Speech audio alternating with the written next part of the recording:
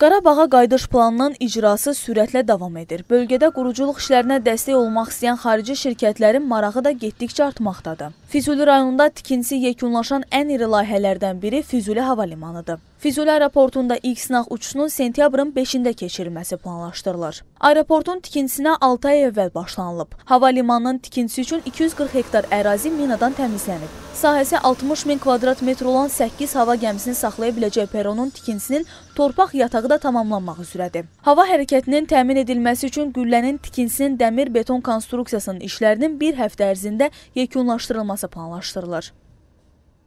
Aerovağzal kompleksini elektrik enerjisi ilə tam təmin etmək üçün e, uzunluğu 2,5 kilometr olan e, hava xətti çəkilmişdir və e, gücü 1000 kva olan transformator binası tikilərək istismara verilmişdir. Köməkçi binalardan qazanxana binasının həm dəmir beton konstruksiya işləri, həm də arakəsmə hörgü işləri sona çatdırılmışdır.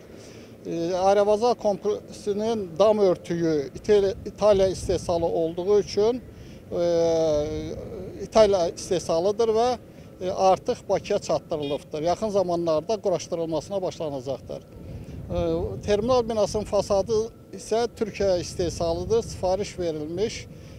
Hissə isə Bakıya çatdırılması planlaşdırılıbdır.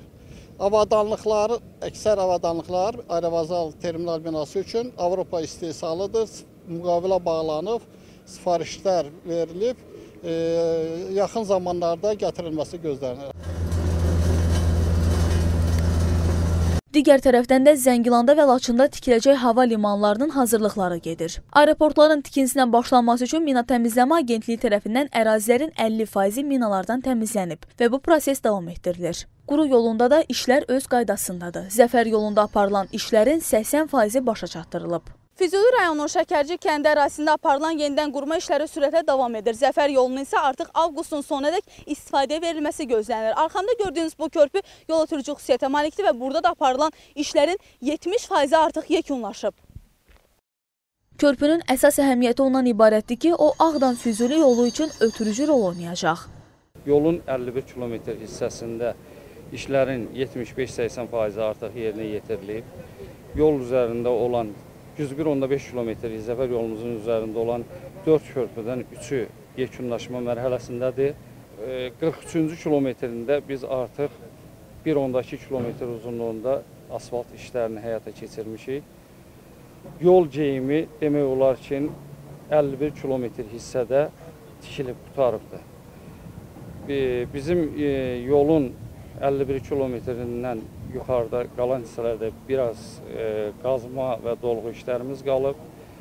Yolun üzərində olan körpünün inşasına başlanılır. Üzərində dayandığım bu su anbarı aşağı Köndələnçay su anbarı adlanır. Ümumi su tutumu 9,5 milyon kub metrdir və bura 6200 hektar ərazinin suvarılmasına tam xidmət göstərəcək. 1993-cü ildən istifadə edə bilmədiyimiz aşağı Köndələnçay su anbarında da işlər davam etdirilir. Artıq anbarda aparılan quruculuq işlərinin böyük hissəsi yekunlaşdırılıb. Üzərində dayandığımız aşağı Köndələnçay su anbarı Köndələn çayının üzərində 1951-ci ildə istifadəyə verilmiş Köndələn çay 1, 1962-ci ildə istifadəyə verilmiş Köndələn çay 2 və nəhayət üzərində dayandığımız 1982-ci e, ildə istismara verilmiş aşağı Köndələn çay 3 ədəd su anbarlarından biridir və ən böyüyüdür bildirmək istəyirəm. Qidalandırma mənbəyi Köndələn çayıdır hər üç su anbarının. Lakin aşağı Köndələn çay su anbarına əlavə qidalandırıcı mənbə olaraq Köndələn çayına e, paralel olan Füzul rayon ərazisindən keçən Quru çayın üzərində də e, su buraxma qabiliyyəti 20 kubmetr saniyə olan su qovşağı da fəaliyyətdədir, istismardadır. O əlavə qidalandırıcı mənbə kimi fəaliyyət göstərir. Bildirmək istəyirəm ki, e, təmir bərpa işlərinin aparılması üçün bizə e, əsas maneə olan minalardan təmizlənmə işləri artıq başa çatdırılmışdır. Qiymətləndirmə işləri artıq başa çatdırılmışdır ərazidə. E, cari ilin sonuna kimi e, təmir bərpa işləri aparılaraq istismara yararlı hala gətirilməsi nəzərdə tutulmuş. Sürətlə aparılan işlərdən danışırıqsa, 3 ay ərzində inşa edilən Füzuli yarımstansiyasını mütləq vurğulamaq lazımdır. 110-35-10 kilovoltluq yarımstansiya Füzuli və ətraf əraziləri elektrik enerjisiyə tam təchiz edir. Ən əsas məsələ Füzulidə yeni inşa olunacaq e, böyük layihələrin, yəni hal-hazırda inşası gedir. Bildiyiniz kimi aeroportun inşası gedir, Füzuli Şuşa yolunun inşası gedir. Yəni bunların hamısının belə deyək, elektrik enerjisinə təchizatı məhz bu yarımstansiyadan olacaq və bununla yanaşı bildiyiniz kimi e, cənab prezident bu yarımstansiyanı işə salanda Şükürbəyli yarımstansiyasını da işə saldı.